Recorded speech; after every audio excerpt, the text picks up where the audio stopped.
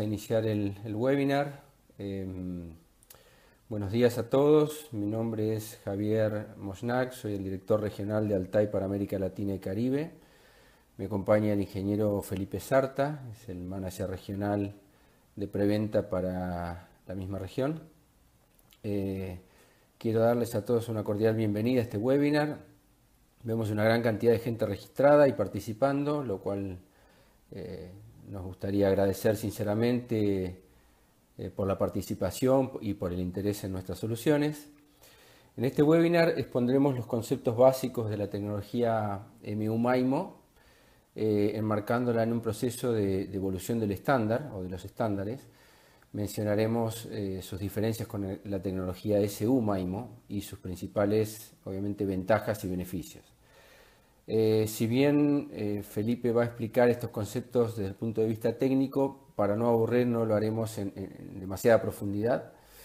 Eh, aquellos participantes que no sean técnicos, bueno, les pedimos disculpas anticipadas. De todas maneras, si bien tenemos previsto una sesión de preguntas y respuestas al final, ustedes podrán interrumpir en cualquier momento bajo la plataforma este, haciendo consultas, las cuales responderemos eh, eh, con gusto. Luego nos enfocaremos directamente en presentarles la nueva familia de productos AX500 de Altai, sus modelos, características, las consideraciones de licenciamiento en las plataformas de gestión de Altai y una revisión de aplicaciones típicas. Obviamente eh, mostraremos las principales ventajas de esta nueva familia de productos respecto a productos del mismo segmento que poseen otros fabricantes. Bueno, y ahora sí, sin más preámbulo, los dejo con el ingeniero Felipe Sarta. Gracias, Javier. Eh, bueno, eh, buenos días. Entonces iniciamos. Eh, la agenda de este webinar consta de seis puntos. Como lo mencionó Javier, empezando con la evolución del estándar hasta pues, hacer el lanzamiento y anuncio de próximos lanzamientos.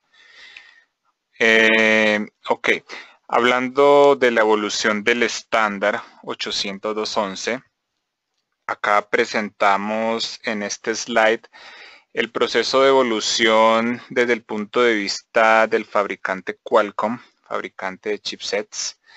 Eh, acá entonces vemos que hablando ya del estándar 802.11ac, estuvo lo dividieron en dos partes, en dos versiones o como lo llamaron waves.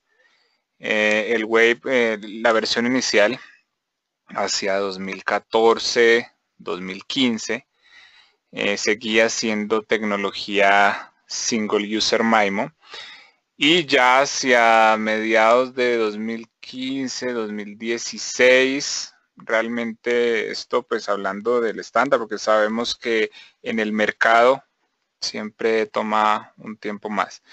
Eh, el Wave 2 eh, para 2016 y 2017 y coincide con lo que con esta presentación y lanzamiento del producto que vamos a hacer. Entonces acá mostramos ese proceso de evolución del estándar desde la primera versión del 811AC eh, estamos en este del medio. Actualmente el, mercado de Wi-Fi estará acá en el 811AC Wave 2, donde introduce el concepto de multi-user MIMO, pero solamente para el downlink.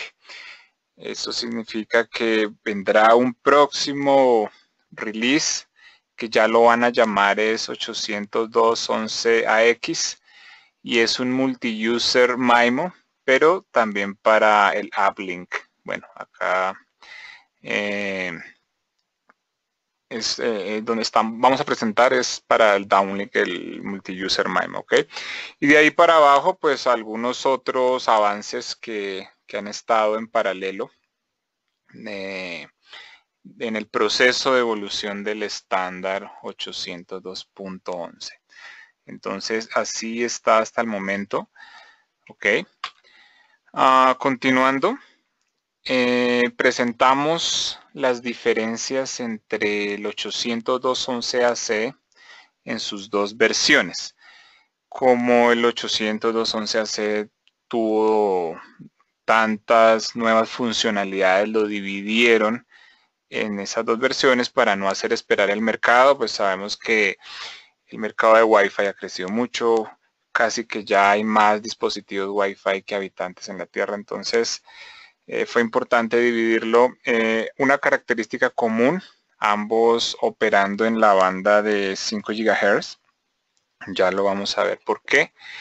Eh, con respecto a las velocidades, la primera versión soportaba velocidades de hasta 1.3 GB, tal como lo hace el equipo Altair 3 mientras que el Wave 2 ya nos va a permitir tener unas velocidades superiores.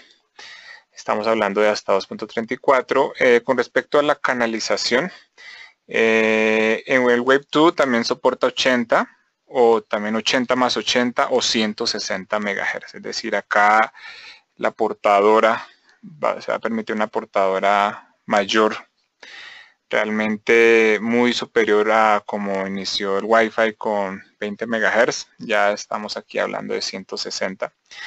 Otra diferencia del Web 2 eh, permite hasta cuatro streams espaciales. Ok.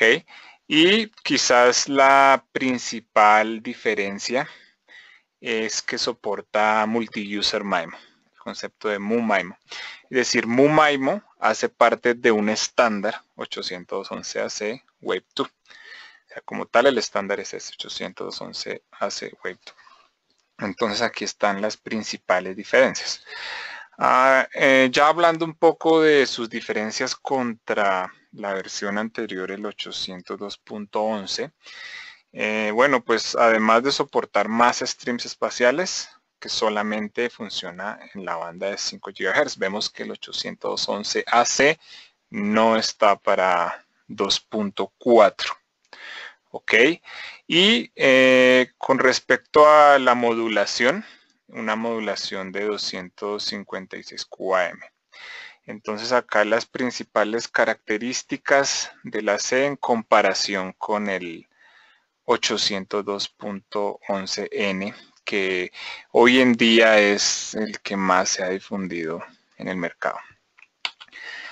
Entonces la pregunta típica es ¿por qué el AC solamente opera en 5 GHz? Seguramente la mayoría lo sabe, pero para repasar un poco, sabemos que en 2.4 el espectro está más limitado.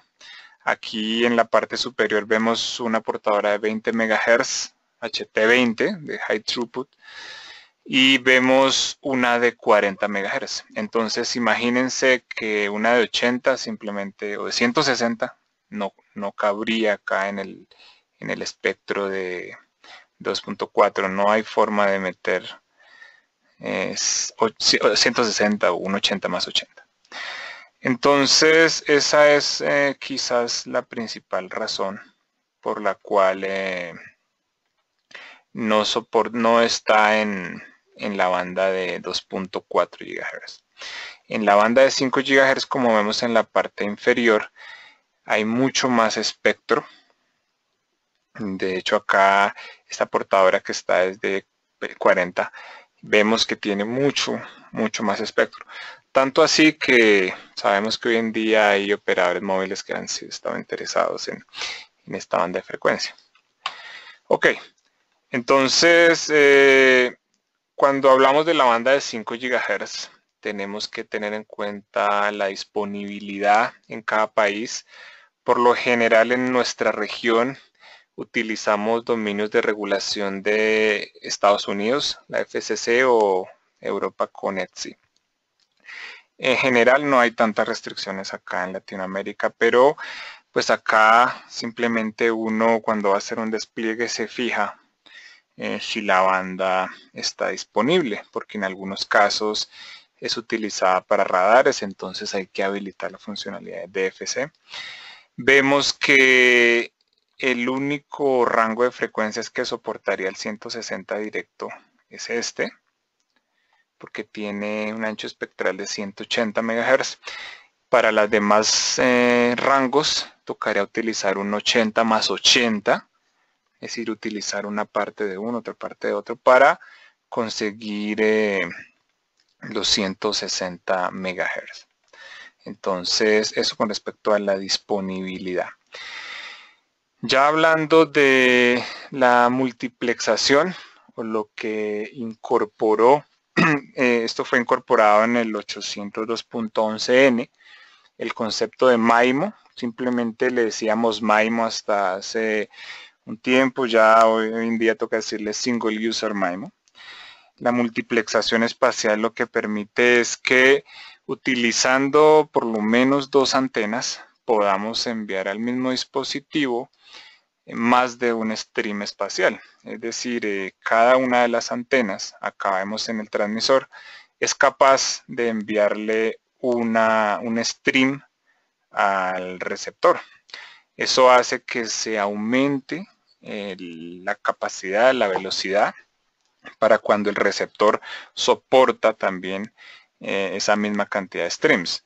Sabemos que la mayoría de los smartphones soportan solo un stream espacial. Eso significa que en esos casos va a estar acotado a la capacidad máxima del receptor y si se llegara a enviar otro stream sería simplemente para aumentar el SNR para intentar aumentar esa relación de señal a ruido. Pero bueno, eh, resumiendo un poco, hasta el, hasta el SU MIMO, esta era la multiplexación espacial. Todos los streams irían, acá en este caso, a un dispositivo a la vez. Eh, el aumento de los streams espaciales, o el con los siglas SS, dijimos que permite aumentar eh, la capacidad, eh, aumenta el throughput, porque se aumenta el data rate. Entonces acá en este slide mostramos simplemente, eh, bueno, acá en la segunda columna vemos los streams espaciales, vemos que acá está para un stream espacial, entonces con determinadas velocidades y ya luego con dos streams espaciales. Eso significa que en la medida que le enviemos y el receptor sea capaz de leer más streams espaciales, eh, va a aumentar el data red. Acá para el ejemplo tomamos estos índices de 8 eh, para un stream y para dos streams espaciales, lo que conocemos como el MCS Index. Eh, hablando del color azul celeste que corresponde a el estándar 811AC, que es del cual estamos hablando en este webinar. Entonces simplemente recordemos estos valores para, para un ejemplo que vamos a mostrar más adelante. Entonces este valor de 351 y 700 eh, megabit por segundo de data rate. Ok, entonces acá continuamos. Eh, ese acceso al medio hasta el SU MIMO se daba eh, por un, utilizando una técnica de acceso al medio que es conocido como CSMACA o prevención de colisión. Básicamente lo que permite es que se eviten colisiones y la forma en que lo hace es censando si el canal está disponible y si no está disponible espera un tiempo de backoff aleatorio. Entonces significa que si hay un usuario transmitiendo el otro tiene que esperar por un tiempo aleatorio hasta que se dé cuenta que ya pues, el canal está libre Después de que verifica que el canal está disponible, transmite los datos y ahí termina su proceso de transmisión. Pero esto ocurre para cada uno de los usuarios Wi-Fi eh, en ese UMAIMO. Un usuario a la vez. Esto porque está basado en la técnica de acceso al medio LBT, de escuchar antes de hablar, y es capaz de censar hasta menos 82, incluso eh, como vemos en los catálogos de Altai hasta menos 90 eh, decibeles de BM de señal. Entonces es capaz de escuchar señales que están incluso muy alejadas. Ok. Ah, perfecto. Entonces acá hacemos ya la introducción al, la tecnología multi-user MIMO que hace parte del 811 a Web2.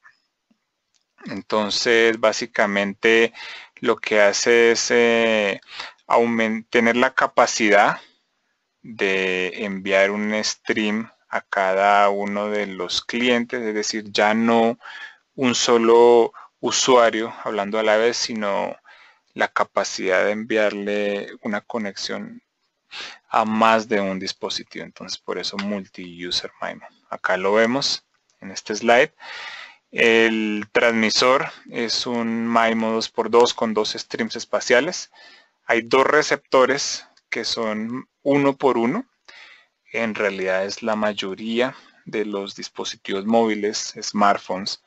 Es más, casi todo dispositivo, incluso laptops, viene preconfigurado para soportar un stream espacial. Entonces, eh, con base a, eso es que el multi-user MIMO es capaz de conectar varios dispositivos. En este caso, un 2x2 con dos streams espaciales es capaz de conectar a dos usuarios uno por uno. ¿Ok? Y a cada uno pues le está enviando su transmisión. En este slide vemos un poco mejor eh, en qué mejora ese, el hecho de transmitir a varios usuarios a la vez. Entonces, en una red de MIMO, como está en la parte superior, para cuatro clientes Wi-Fi, smartphone, la mayoría son de un stream espacial. Cada uno de los clientes se conecta en un slot de tiempo. Acá aquí vemos que transmite el cliente 1, luego el 2 hasta el 4, pero en ese MIMO transmite uno a la vez. Entonces, ¿qué ocurre con el multi-user MIMO. Se crean grupos. En este caso, como es un multi-user MIMO de 2x2, conecta dos dispositivos, cliente 1 y cliente 2, y luego cliente 3 y cliente 4 al mismo tiempo. ¿Eso qué significa? Que tienen tiempo libre para conectar otros clientes Wi-Fi. Incluso clientes que sean de modulación baja, porque como no se está compartiendo el tiempo en el aire, va a tener más tiempo libre, incluso para soportar clientes legacy que tienen un bajo data rate. Entonces, este es uno de los beneficios del multi-user MIMO, a permitir atender más clientes o tener más tiempo disponible para atender clientes en, el downlink. Como vemos, el multi-user MIMO por el momento solo es en downlink. Eh, hablando de capacidad, entonces si hubiesen dos usuarios modulando eh, a MCS8 con un stream espacial. Entonces en una red de CEUMAIMO ellos compartirían esa, esa capacidad. Entonces aquí vemos que se le reduciría como a la mitad, mientras que si tienen la capacidad de estar en una red multi-user MIMO, van a tener una mayor capacidad porque pueden utilizar esos dos eh, streams espaciales el Access Point es capaz de enviarle a cada uno de esos dos usuarios a la vez con toda la capacidad del Access Point. Entonces, no solo va a tener más tiempo en el aire, sino que los clientes van a tener una mayor capacidad. En otras palabras, los Access Point Single User MIMO, eh, pues eh, lo que hacen es que conectan un usuario a la vez, los otros esperan por supuesto, esto es eh, casi imperceptible. Uno en la práctica esto solamente lo nota con aplicaciones en tiempo real, voz IP, cámaras o con muchos usuarios. De resto es casi imperceptible. No significa que el multi-user MIMO va a ser lo único que se va a utilizar en adelante. El single user MIMO va a seguir presente. Eh, pero eh, al utilizar el multi-user MIMO, varios usuarios van a tener la capacidad de hablar al mismo tiempo. Entonces hay aplicaciones en las que sería muy apropiado disponer de un equipo de estos. Acá estamos asumiendo que todos los usuarios son de un stream espacial. Si fueran de dos, bueno, ahí ya sí conecta solo uno. Ok, entonces, ¿cuáles son las ventajas del multi-user MIMO? Un mayor throughput con una menor latencia, porque no se está compartiendo el tiempo en el aire permite conectar múltiples usuarios, hay un mayor tráfico en la red porque lo mismo, hay un mayor throughput, menos latencia, más disponibilidad para conectar otros usuarios, no se está compartiendo ese tiempo en el aire, las redes están más libres incluso para clientes legacy. Y algo muy importante para todos los que se conectan con smartphone, que sabemos que el dolor de cabeza que se le acaba a uno la batería. Entonces, al tener que esperar menos tiempo para poder transmitir, la batería se va a gastar menos. Entonces es, una ventaja muy importante del Mumaimo, eh, un ahorro en la batería del equipo cliente, porque va a tener que esperar menos tiempo. Ok, ah, hablando de el lanzamiento directamente de nuevos productos, entonces acá estamos introduciendo la nueva serie AX500, Altair AX500, posicionada en la micro cobertura de Altair. Sabemos que Altair maneja tres gamas de cobertura.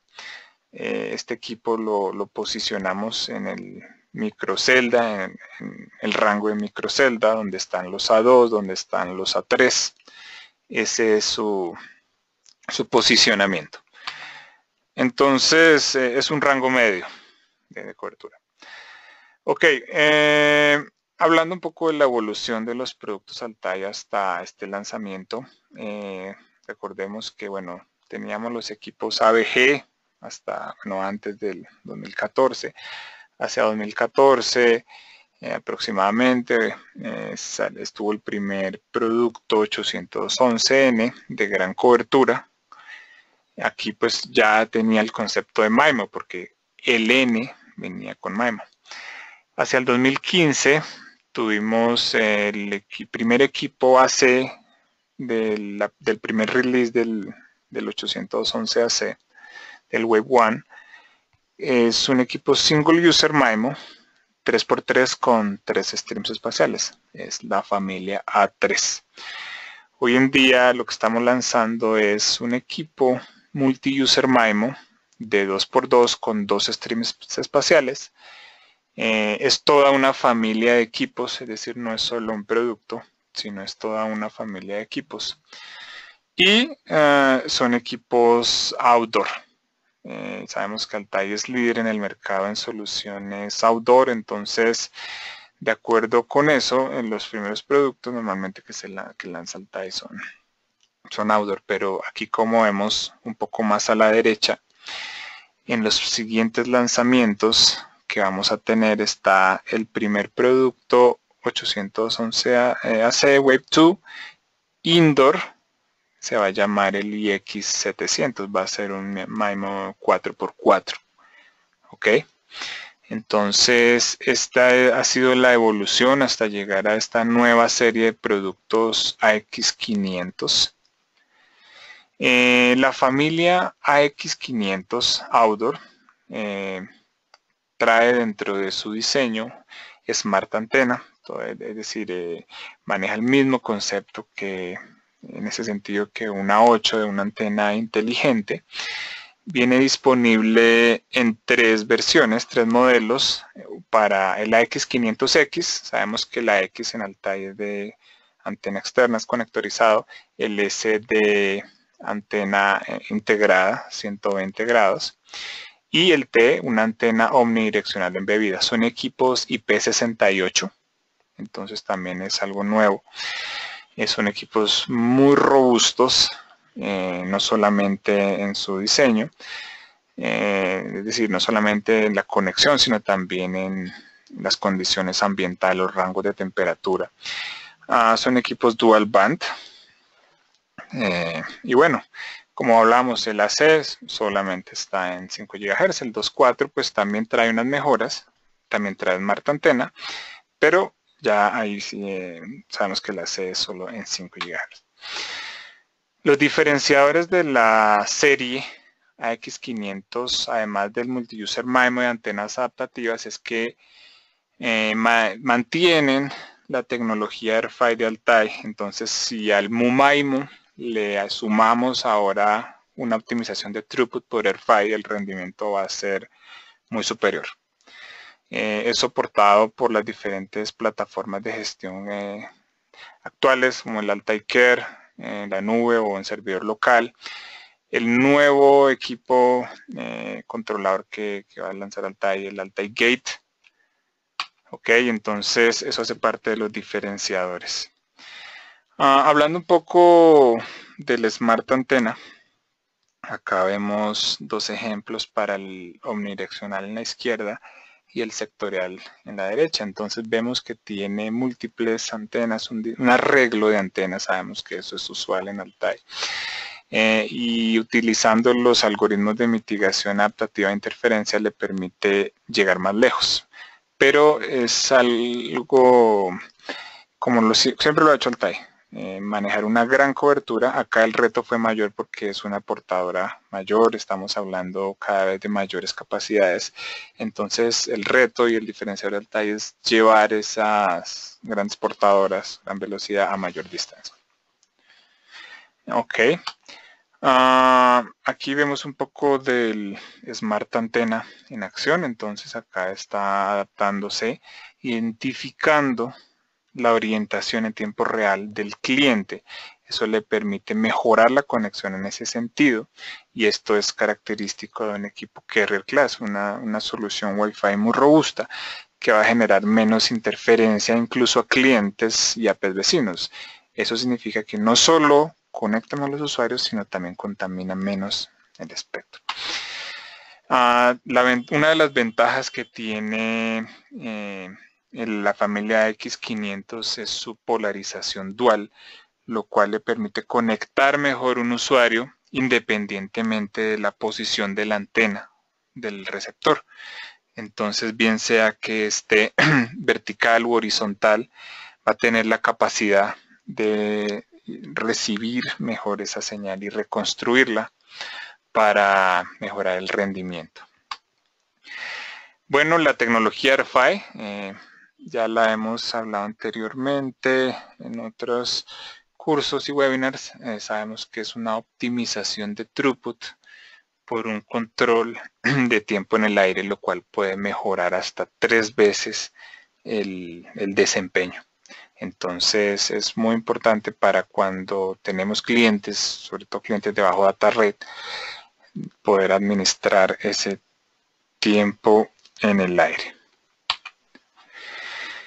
Las opciones de despliegue del AX500 son, bueno, es, flexible en ese sentido porque puede conectarse a un Altai Care en la nube, al Altai Care on premises en un servidor local y bueno, conectado al nuevo Altai Gate, vamos a estar hablando en los próximos lanzamientos.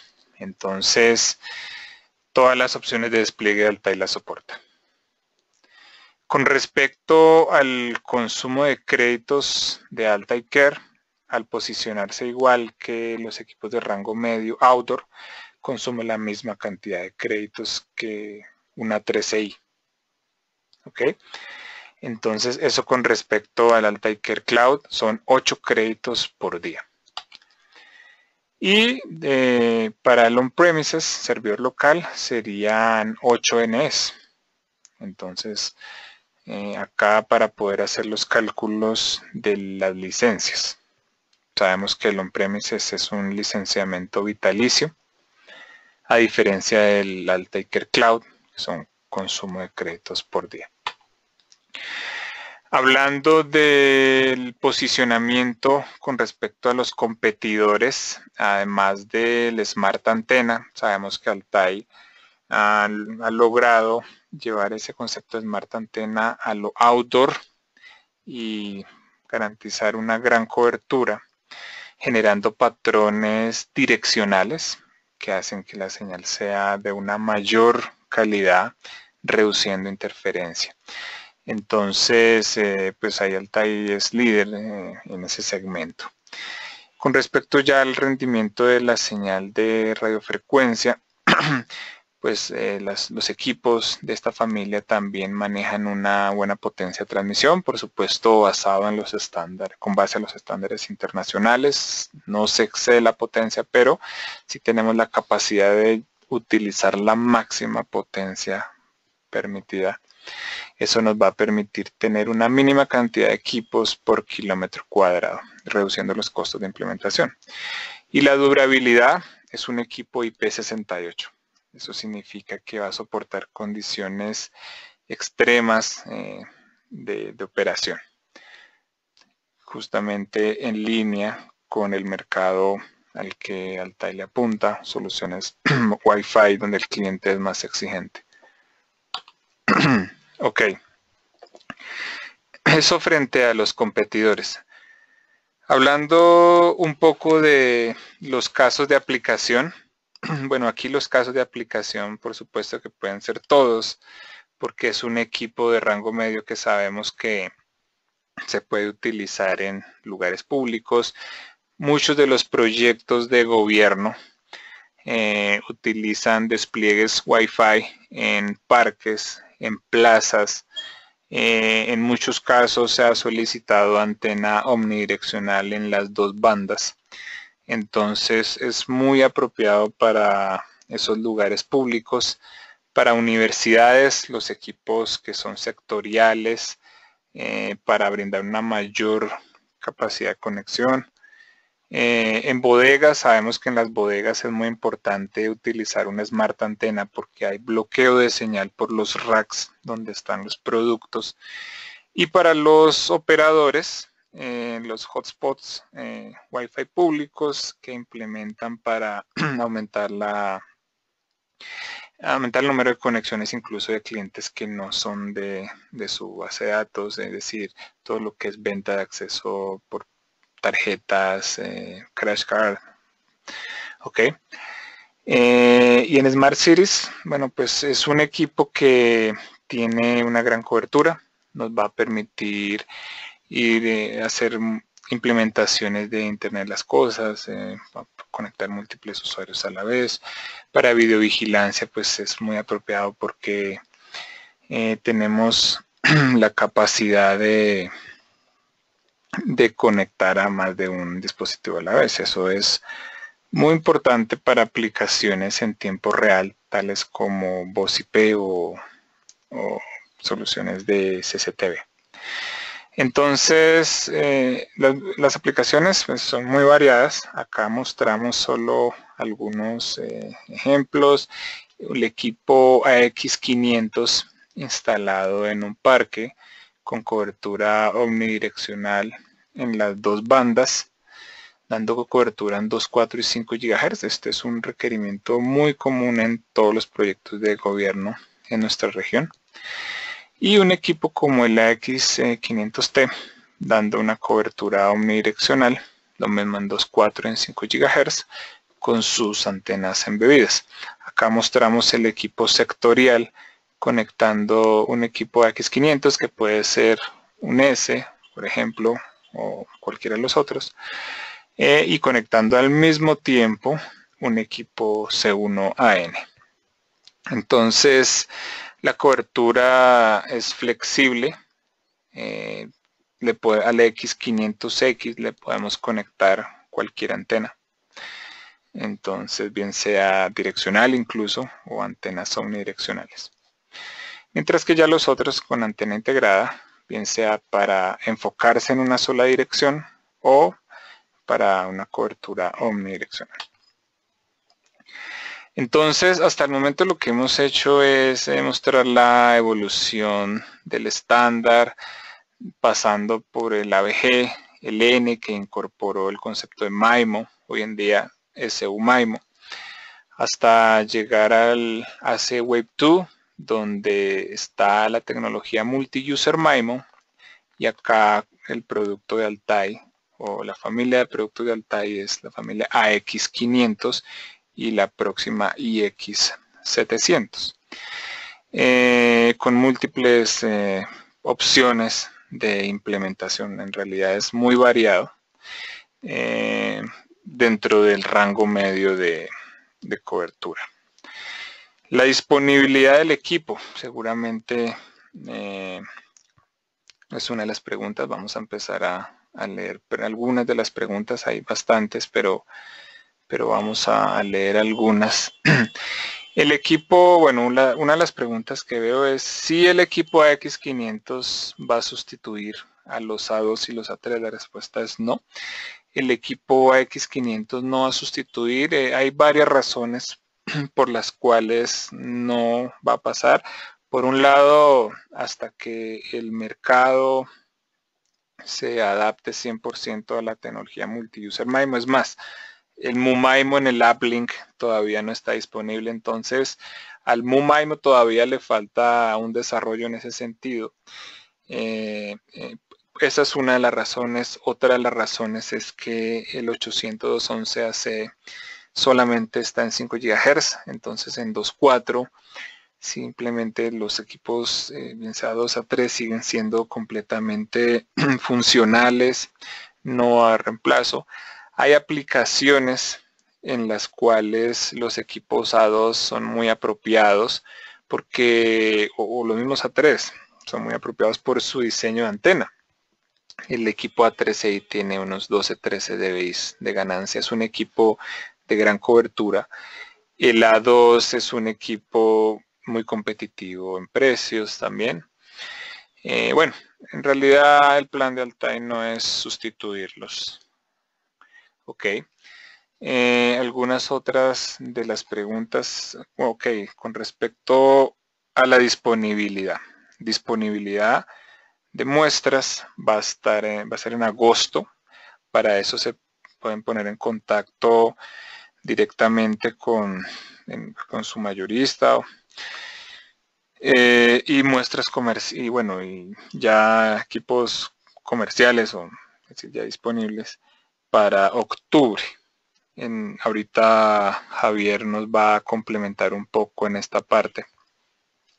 Eh, bueno no sé Javier si quieres de una vez complementar no, no, básicamente mencionar lo mismo las, las muestras la idea es que productos se puedan este, probar y mostrar eh, como está disponibles en agosto y bueno, comercialmente tener productos ya disponibles para la venta en octubre.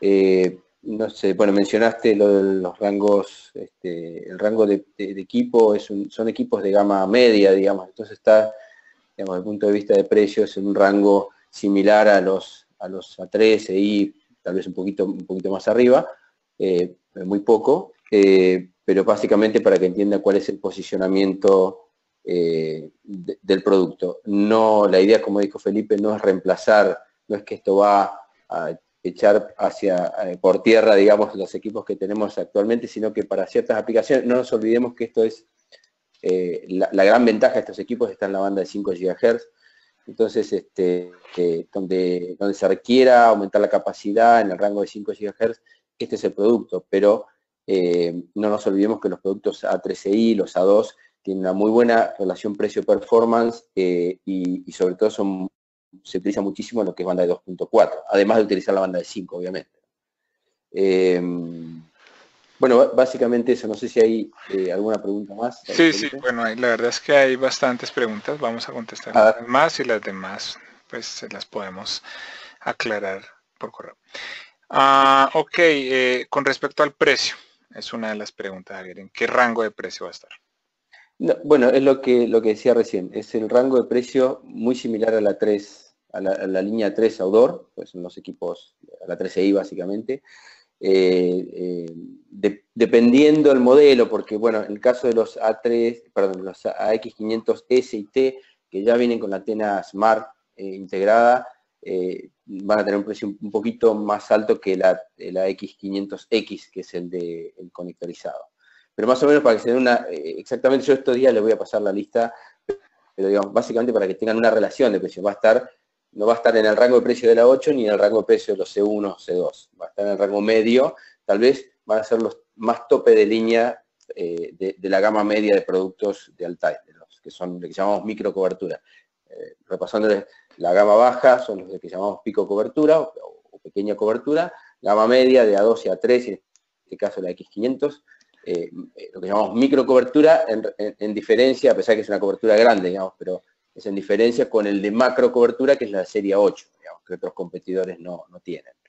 Eh, más o menos para que tenga una idea, ese es el rango, eh, a estar en ese rango de precios los que ya tengan la lista disponible. Sí, correcto. ¿Otra pregunta, Felipe? Eh, sí, entonces hay otra pregunta, es de si tenemos ya un draft del catálogo eh, sí, el catálogo se los podemos compartir, incluso acá seguramente lo están viendo, ¿verdad? Eh, este es el catálogo. En el catálogo se van a incluir eh, directamente los, los, tres equipos, el ST y el X. una de las preguntas también era cuál es el rango. Aquí están los rangos de cobertura. Entonces, eh, bueno, mostramos el rango y, los data rates máximos. La X500 sectorial va a tener eh, una, una cobertura de hasta un kilómetro con línea de vista en espacio abierto. Ok. Ya los X, eh, el X, bueno, va a depender de, la antena que utilicemos. De las antenas que, bueno, puede soportar cualquiera de las antenas que ustedes ya conocen de Altai son conectores N, hembra. Ok, entonces, eh, pues en ese sentido ya pueden utilizar alguna de las otras antenas de, de Altai. ¿sí? Ok, entonces, bueno, vamos a ver alguna otra. Sí, perdón, es importante destacar que que al nivel de precios que tienen los productos, que son muy similares al, mismo segmento de productos de otros competidores, lo, van a ver, eh, las ganancias de antena de los productos de, la X500 específicamente eh, es superior en un 100% en alguna, en alguna de las bandas y un 50% en la otra banda respecto de los, estos competidores, lo cual hace que tengamos una mejor relación de cobertura, minimizando la cantidad de equipos por área. Eso digamos, en, un proyecto global hace que, digamos, eh, el, el, precio sea más económico de la solución completa, ¿correcto? Sí, bueno, eh, un par de preguntas más. Eh, bueno, algunas de las preguntas es con respecto a, al Altai Gate, por lo que estaba en uno de los slides anteriores. De hecho, bueno, eso, eso lo vamos a mostrar acá en, en los próximos lanzamientos. Eh, dentro de los próximos lanzamientos tenemos entonces el iX700, un equipo indoor multi-user MIMO 444. Eh, ok, el equipo C1NI es un equipo CP industrial, es muy apropiado para esas aplicaciones que manejan eh, estándar de Profinet, sabemos que es para automatización, es un equipo que se va a poder instalar en rieles, de los, de los típicos que se encuentran en soluciones de automatización y el Altai Gate, nuestra controladora inalámbrica tipo appliance, también va a estar dentro de los próximos lanzamientos, muy próximos, de hecho, eh, en pocos días vamos a enviar la invitación para, ese webinar de, de Si bien, digamos, este, el Alta Care también tiene funciones de control y, manejo de usuarios, etcétera, muchos de los clientes han solicitado tener una, o, requieren por preferencia tener una appliance, y esta sería la, la, solución que estaríamos presentando.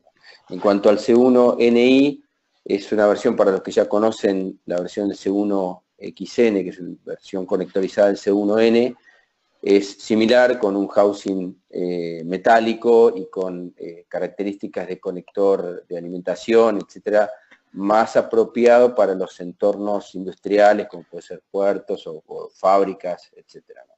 Ese es la, el posicionamiento. Sí, correcto. Con esto se complementa ya totalmente el portafolio de Altai. Eh, y el Altai Care, aunque pues bueno, ya se hizo el lanzamiento, ya lo que vamos a ver nuevo en el Altai Care es la posibilidad de descargar los reportes en formato CSV para poder hacer Data Analytics. Es una de las funcionalidades que también vamos a estar anunciando próximamente en el Alta Care. Ok, entonces eh, vamos a ver algún par de preguntas más. Eh, ok, un momento. Ah, bueno, esto también es con respecto a disponibilidad. Es POE, sí, es un equipo que también es POE. También hace soportar eh, conexión a, a, un switch, eh, pero hay, una pregunta que dice que si River o Boca. Eh, bueno, listo. ¿Cómo? River en mi caso. bueno, entonces, eh, ya por tiempo, de acuerdo a lo que habíamos anunciado, vamos a terminar. se pueden poner en contacto con, nosotros. Con la, carátula, por favor. el, la primera, el primer slide. Ah, ok, el primero. aquí también, ah, bueno, vamos a ir al, al primero. Bueno, y mientras tanto de pronto nos da tiempo de contestar un, una pregunta. No sé si se ve ahí el, ahí están los contactos, obviamente mucha de la gente que está registrada y está participando del webinar nos conoce. A los que no, están las, direcciones de mail para hacer consultas. Eh, Felipe les va a estar enviando obviamente la, presentación, eh, eh, el catálogo que por ahí solicitaron. Y si hay preguntas adicionales, bueno, bienvenidas, trataremos de responder lo más rápido posible. y bueno, no sé si había una pregunta más, decía Felipe. no, no, en realidad son similares a lo que ya se ha hablado. Eh, y un poco de los próximos productos, pero bueno, eso lo vamos a anunciar en, sí. próximos... Sí, iremos anunciando en, las próximas eh, semanas, días, este, una eh, webinar respecto de los productos que acabamos de mencionar, este, tanto el Gateway como los, los C1 NI, para que tengan información y aplicaciones, características, etc. No sé si no hay más preguntas. Eh, no, pues hay una última que pregunta sobre qué chipsets utiliza. Bueno, Altair está utilizando Qualcomm. Entonces. Sí, básicamente lo que mencionó Felipe en uno de los slides era justamente eh, la, tabla de evolución de Qualcomm. Nosotros estamos basados en, el chipset de Qualcomm, con lo cual, digamos, eh, está hecho exprofeso también para que vean cómo evoluciona Altair de acuerdo a las evoluciones de los, de, los estándares y de los chipsets disponibles en, eh, digamos, en esta, en esta marca. Bueno, básicamente. Ok, bueno, entonces muchas gracias a todos por asistir. Eh, este webinar lo vamos también a subir al canal de Altai. Así que después, si no lo pudieron ver todo, ahí lo van a poder ver y si requieren la presentación también se las podemos compartir. Muchas gracias a todos y que tengan feliz día. Bueno, muchísimas gracias por la presencia. Solo mencionarles que, bueno, tuvimos una asistencia que superó por demás nuestras expectativas, así que les agradecemos eh, sinceramente la presencia y, y el...